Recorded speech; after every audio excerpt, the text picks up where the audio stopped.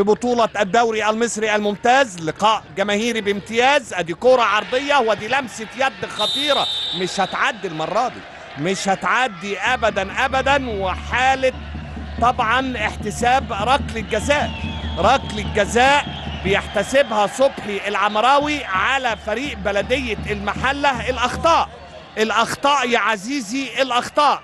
آدي الكرة وآدي لمسة اليد الواضحة تماما تماما من اللاعب أحمد رضا صاحب العشرين عام. مادد إيديه تتوفر في كل الشروط. علشان كده صبحي العمراوي ما استناش الهجمة.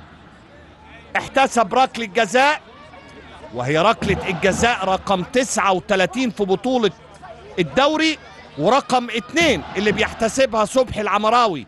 في لقائه رقم ثلاثة. عبد الله السعيد هو اللي خد القرار وهو اللي هيبقى في الحوار على بعد 11 متر وجها لوجه مع أحمد حسين. من أجل المضي قدما في نادي المئة عبد الله السعيد وأحمد حسين. عبد الله بيضيع كورة غريبة جدا جدا بيهدر.